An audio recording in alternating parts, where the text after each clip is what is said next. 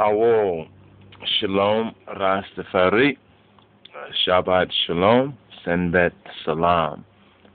Sabbatical greetings of peace in the name of the King of Kings and his Christ, Joshua, Jesus Christos, Ha Mashiach, Ha Moshiach, the Messiah, our black Lord and Savior, Jesus Christ.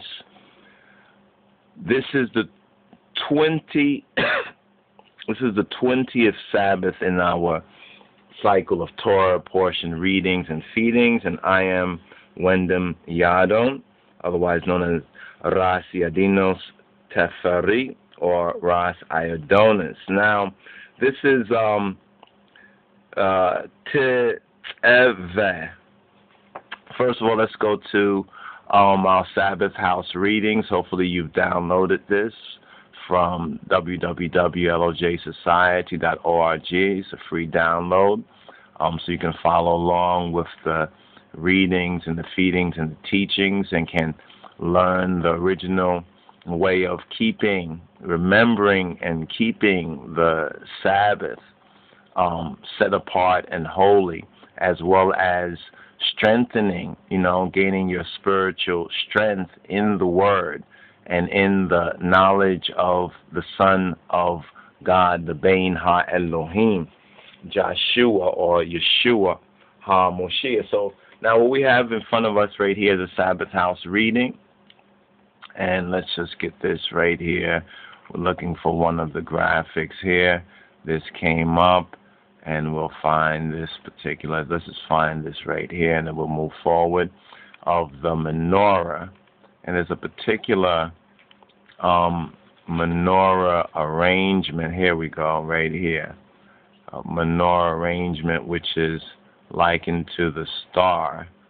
Um, a particular unique um, arrangement, and it kind of proves um, the Hebraic use of what's called the six pointed star, as you can see right here.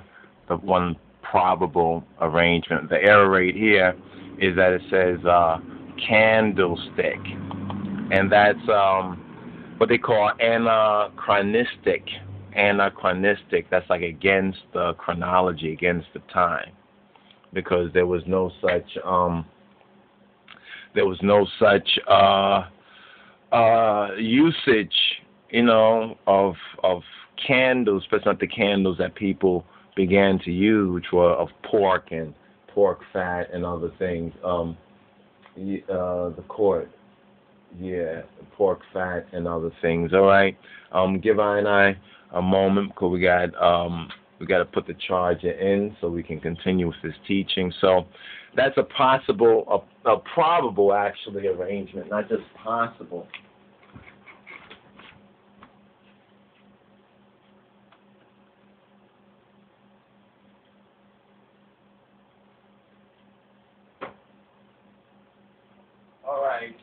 um, let's first of all start from the start from the the top of this teaching, right? And we're gonna go to our Sabbath house reading and feedings, um, and we hope to make more available. We have it for order right now, but we hope to try to make these teachings more disseminable to where ones can have the books. Books are, you know, books are books are very special.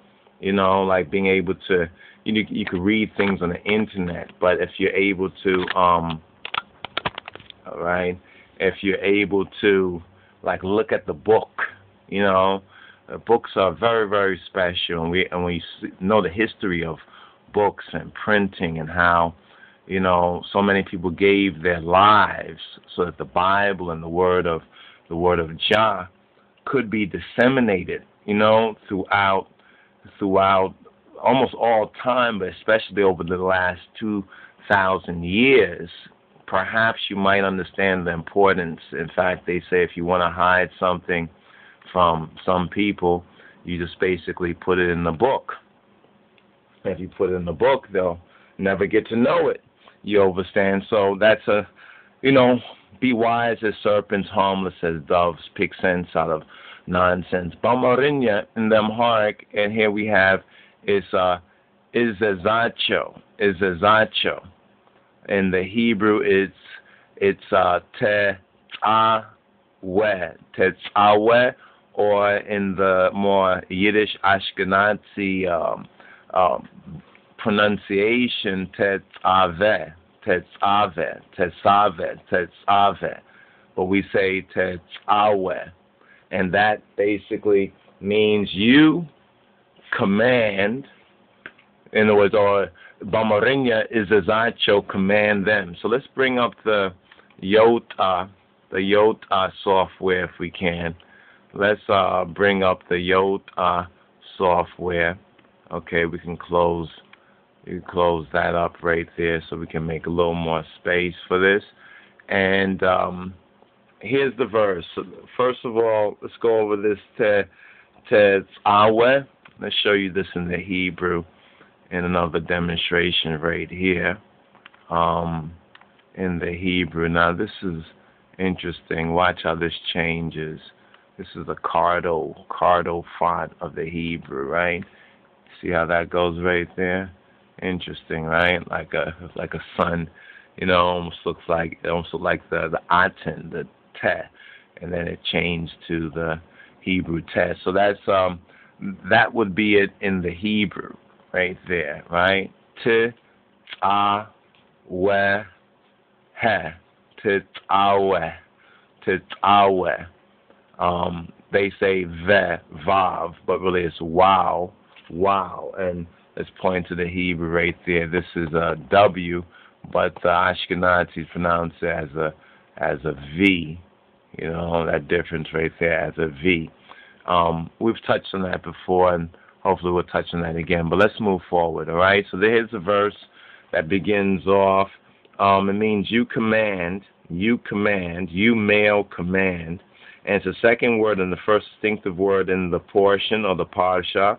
Bamarinya in Amharic, we say kufel. That means the a part or portion. And it's the 20th weekly Torah portion in the annual Hebraic and and uh, Judaic cycle of Orit uh, Minbab, Nabab, Orit, the Ethiopic for Torah, Torah, Minbab, Nibab reading.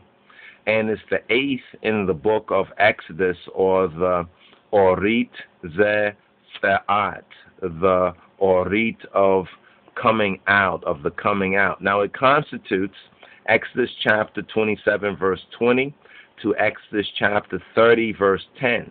Now, we as Hebrews and as black Jews in the diaspora in this North Country, we read it.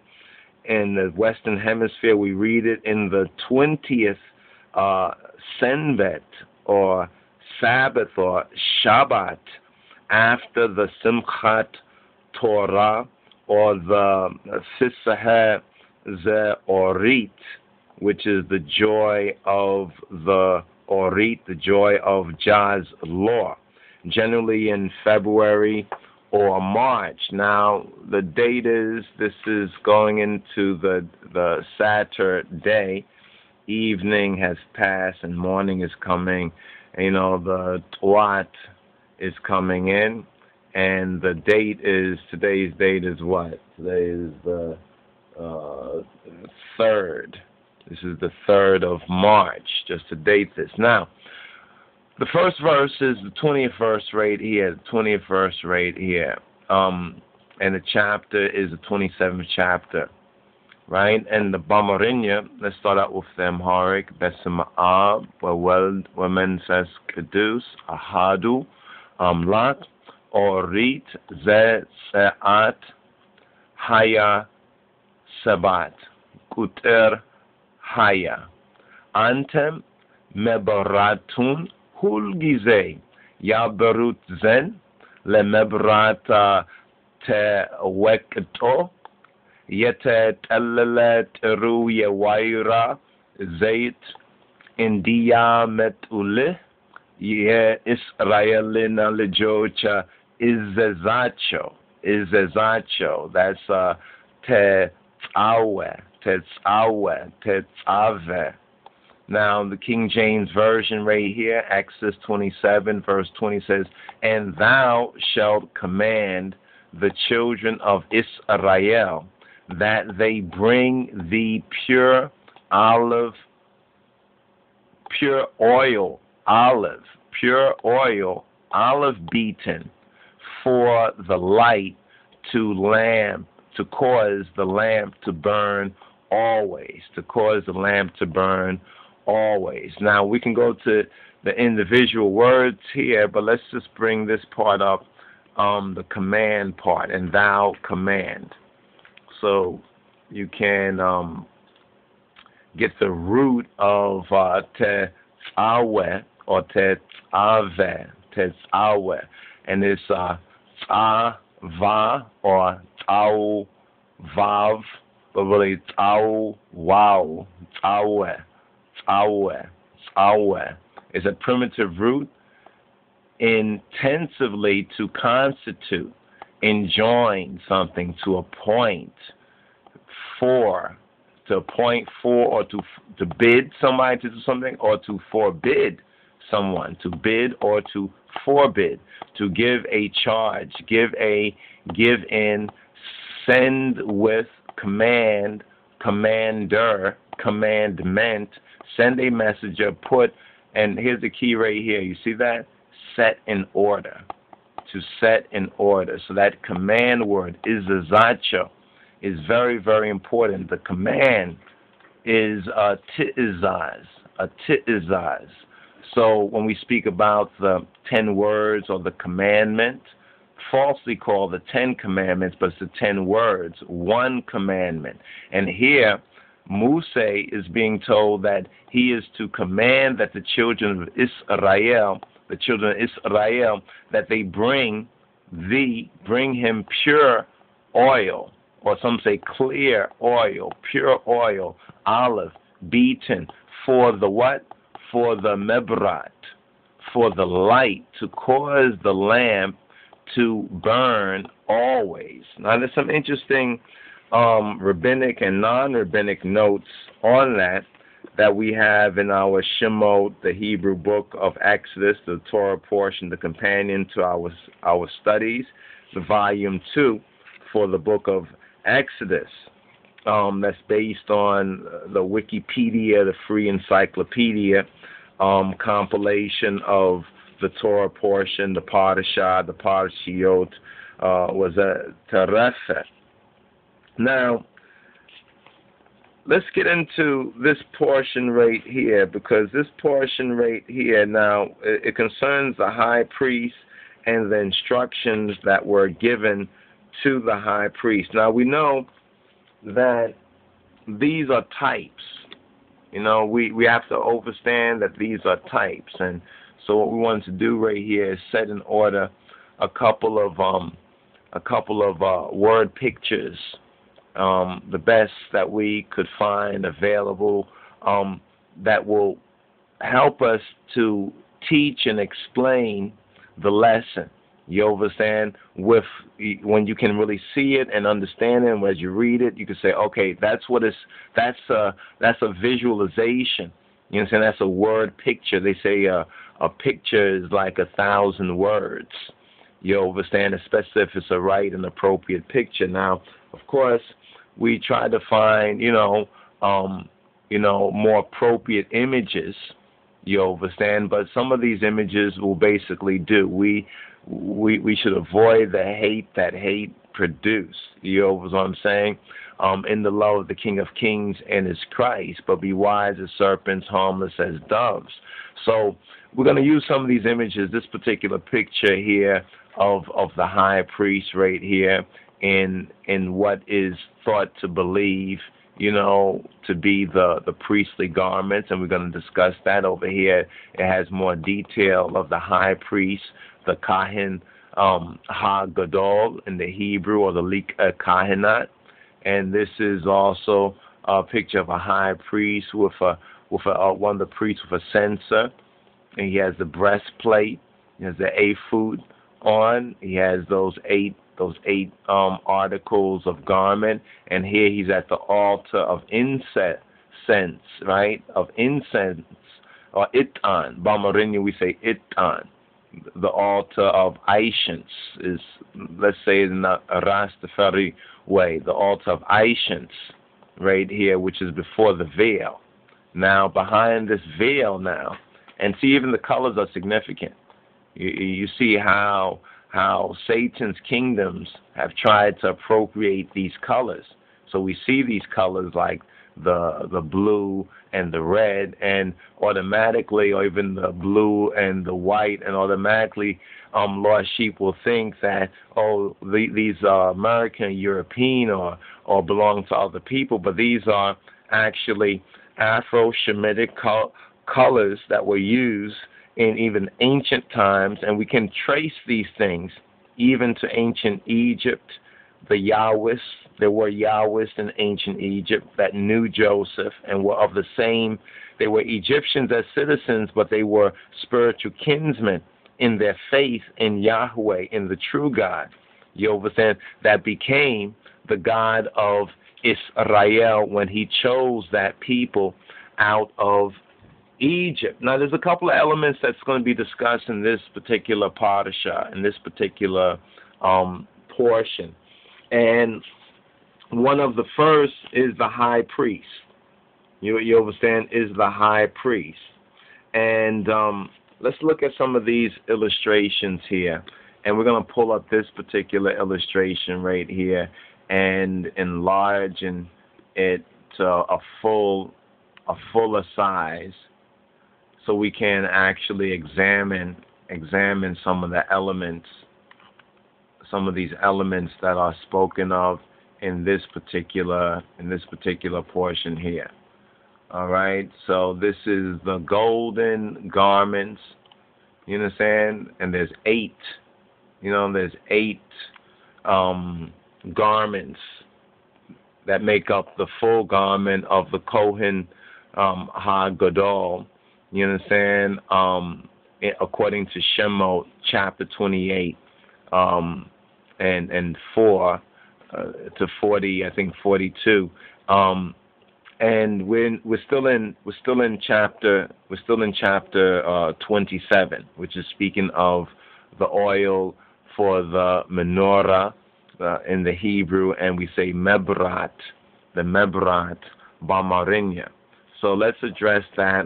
Give me a moment. Let me get my Scofield because Scofield sometimes has important notes. Now, you should be familiar with the song.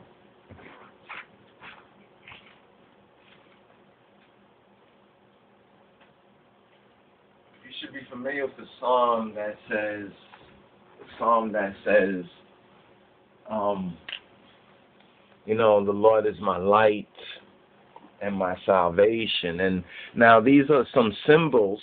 You understand? These are symbols, and and the Scofield, the notes in the Scofield, um, do a whole lot of justice if you would even spend the time to study these these notes within the within the um, the Scofield Study Bible. Because now we're we're still dealing with the tabernacle. We touched briefly on the tabernacle in last week's parsha, and in previous um, in previous portions, Torah portions from the previous cycle, we have gone into a little more detail here and there. There's a lot, there's, there's much that's in here.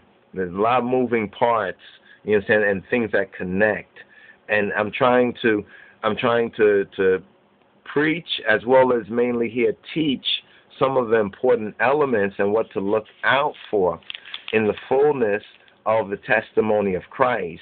But you need to understand the the the parable of the tabernacle. You understand the significance of the tabernacle. But let's bring up this um, cross section, and truly it's a cross section of the tabernacle. Right? Let's enlarge in this right here. Here we have the tabernacle, right? And we have the brazen altar. You enter in from the east Remember before we showed the tribes and how it forms a cross? It almost looks like an Ethiopian, you know, what they call a Coptic cross when you compare the tabernacle and the tribes encamped at those four at the four points. You understand at the at the um, east, west, um, the north and the south, or the south and the north, as it were. So here we have the brazen altar. You can see we have the brazen altar, and uh, think that the brazen altar has already been addressed briefly before, but we'll touch on it again. Now we superimpose this red cross. You understand to highlight something very important. We were going to put, you know, uh, uh, evidently displayed crucifixion of our black Lord and Savior here, but just to, to understand the the connection with the cross and the tabernacle, as we showed it before with the tribes encamped at the different points, you can see it here as well too. If you would imagine that that the Savior on the cross, his head would be up here where the Holy of Holies is. There's Ras will be up here, the Ark of the Covenant. Remember, on the Torah, there's a crown. You understand? Actually, there's actually there's three crowns. Uh, um, but there's, uh, there's there's there's a crowning work. So the, so because of that, it's at the head position. You understand? So we enter in from the east, but it's facing. Notice the direction that the that the tabernacle is facing, or the Mekdesh is facing. So we have the mercy seat here. We have the Ark of the Covenant. This line here would be the veil. Remember in the previous picture, um, let's move this let's move this down for a moment. This picture here, you can see there's the veil. So you see this veil here. And you see what this is? That is the the altar of Aishans or incense, it on, and here we have the altar of incense. Right? This is the tabernacle, the square of the tabernacle, right? This is the tabernacle, and this is the courtyard of the sanctuary. So all of this is the Mekdes, right? And this is the Mishkan. You understand? The Mishkan, right? Or one can say the birthing place.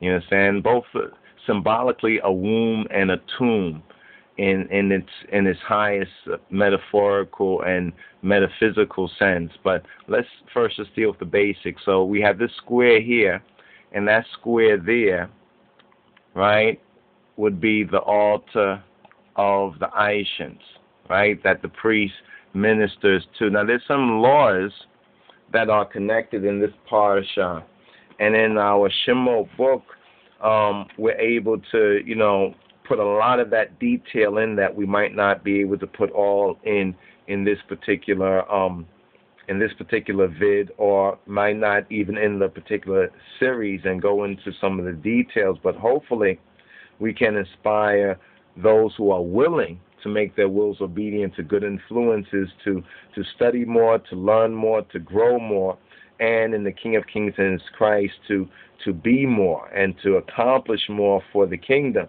Now, um, of the commandments that are found, right, in this particular portion, this 20th portion, according to Maimonides and the Sefer um, uh, uh, there are four positive and three negative um, uh, tizaz or tizazat commandments in the kufr, in the portion.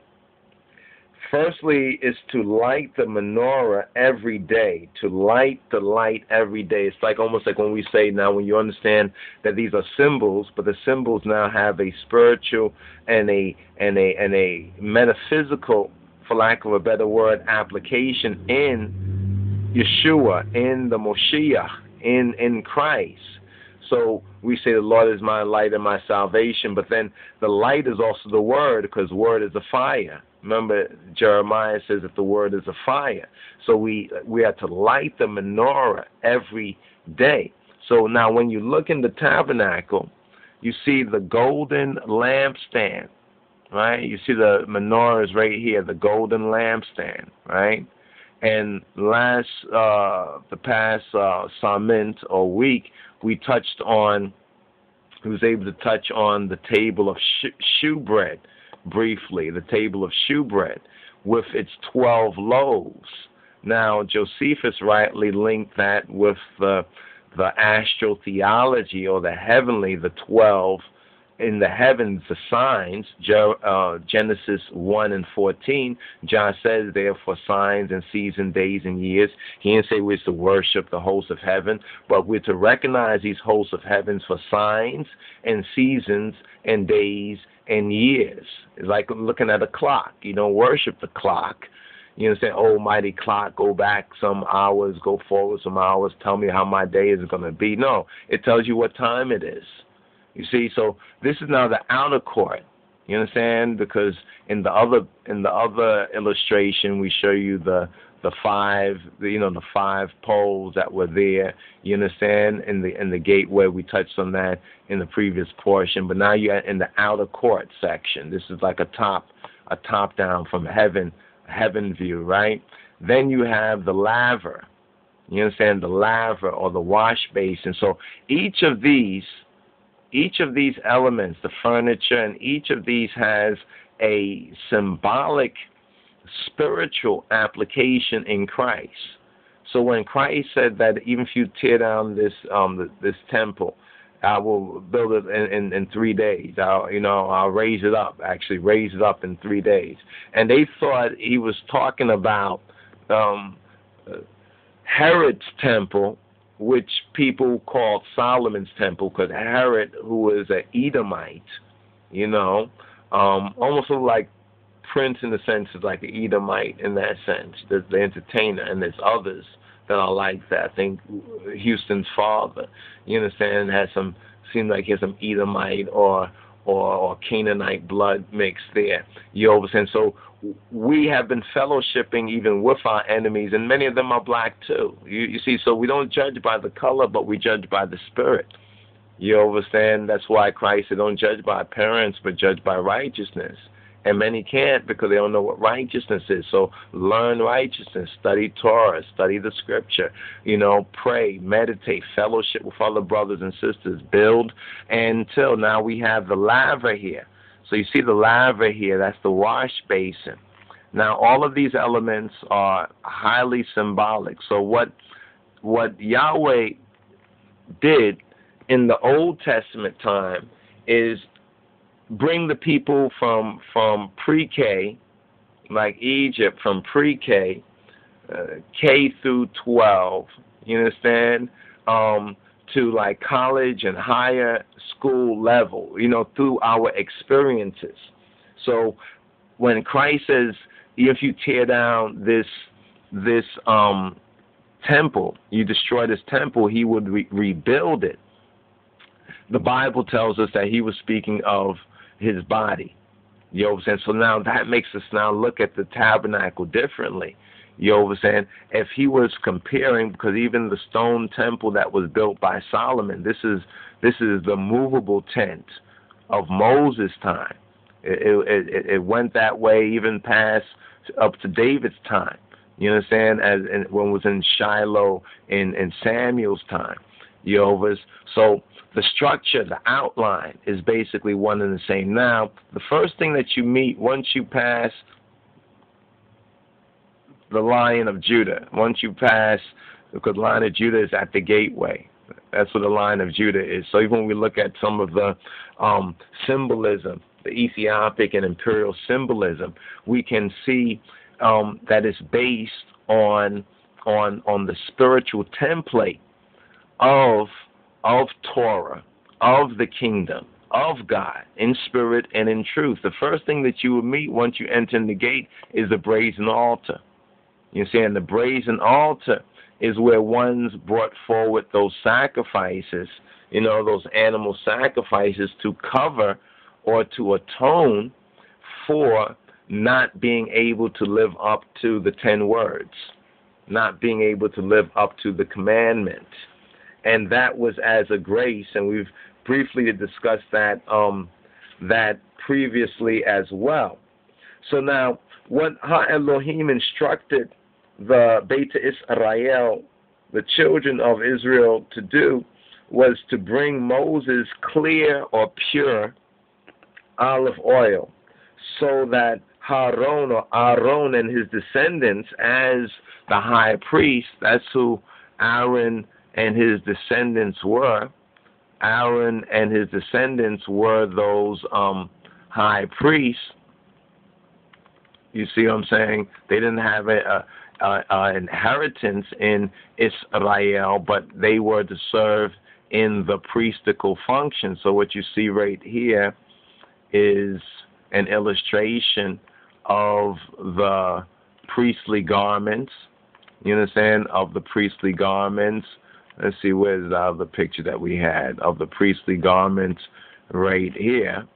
So we have illustrations right here of, here we go, of the priestly garments. And we're going to go through um, some of the details, spend, pay a little bit of attention to that. But let's first deal with the, the what is meant by clear or pure olive oil. What is meant by clear or pure olive oil.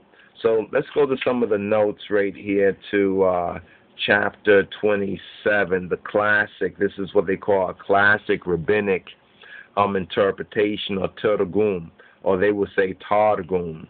Exodus chapter 27, the Mishnah, which is actually the first part, uh, if I'm correct, is the first part of the Talmudic or of the teaching. Talmud means teaching. In Amharic, we say Timharit.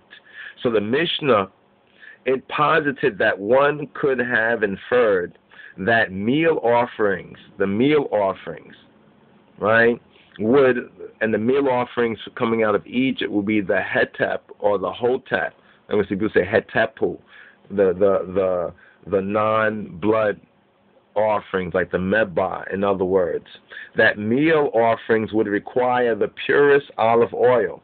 For if the menorah, for if the menorah whose oil was not eaten require pure olive oil, how much more sh- so should meal offerings whose oil was eaten? But Exodus 27 and 20 states, pure olive oil beaten for the light, but not pure olive oil beaten for meal offerings. So, what, what is showing in this um, classic rabbinic uh, uh, Targum, it is showing how to reason. You understand how to reason? Because one could say, well, if it's pure for for for the menorah, and let's bring up the menorah. You understand? If it's pure for the menorah, then why isn't it, you know, then why isn't it so for the meal offering? This should be the same because pay attention to the word. You understand? Um, the, the the word directs man. Man does not direct the word because the word in the beginning was the word, the word was God, and the word was God. How how dare we? seek to direct God, but the word it directs us. So pure olive oil beaten for meal offerings to make clear that such purity was required only for the menorah, the mebrat, and not for the meal offerings. Now, the Mishnah taught that there were three harvests of olives.